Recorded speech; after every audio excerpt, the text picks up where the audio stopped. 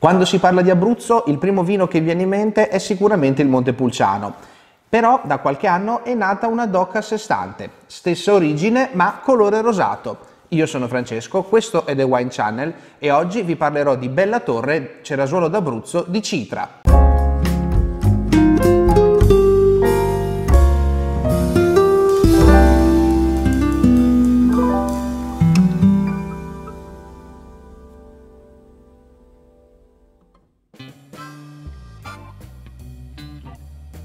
Citra è una realtà di Ortona, in provincia di Chieti, che si dedica alla produzione di vini partendo dalle uve tipiche dell'Abruzzo. In particolare cura questa linea chiamata Bella Torre che comprende tre prodotti, un Montepulciano, un Trebbiano e il Cerasuolo di cui parliamo oggi.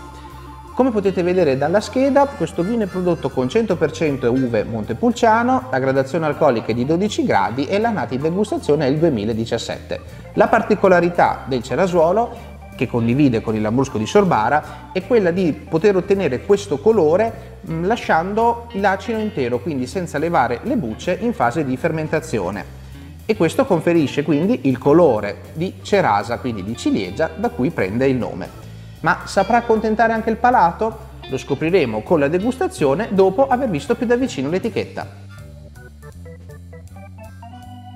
Ed eccoci a vedere più da vicino la nostra etichetta, c'era solo d'Abruzzo Citra, ehm, ricordo che questo cerasuolo ricade nella denominazione più ampia commerciale di Bella Torre che ricomprende anche un Montepulciano e un Trebbiano, tre classici vini abruzzesi.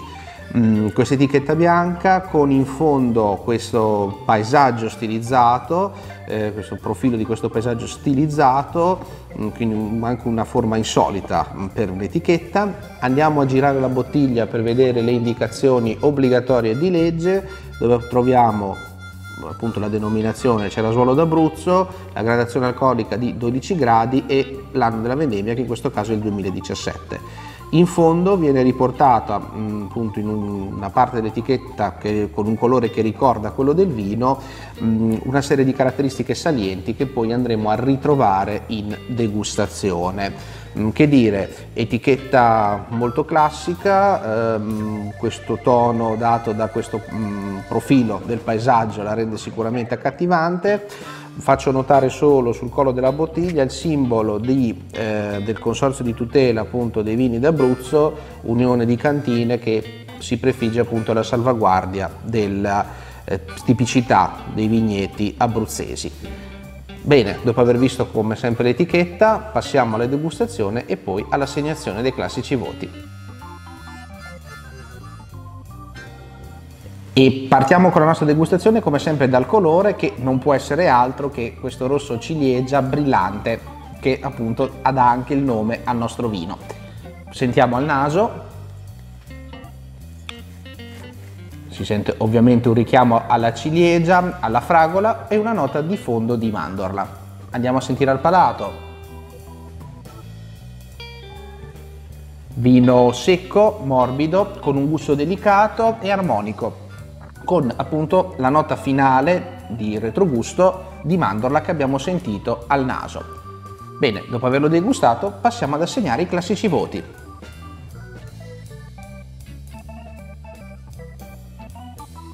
Per quanto riguarda la fascia di prezzo, questo vino prende una bottiglia su 5, si trova in vendita fra i 6 e i 7 euro alla bottiglia, che è un buon prezzo per un buon vino da tavola. Si trova facilmente nelle catene della grande distribuzione. Valutando la versatilità, questo vino merita 4 bottiglie su 5. Si presta a diversi piatti, pesce, legumi, mh, mm, carni bianche e formaggi. Si può abbinare anche a primi piatti leggeri, come ad esempio un bel piatto di spaghetti al pomodoro. Ma adesso vi voglio sorprendere, è un ottimo abbinamento anche per la pizza. Avete in mente una serata in compagnia con una bella pizza anche al metro? Il Cerasuolo d'Abruzzo è sicuramente un'ottima scelta.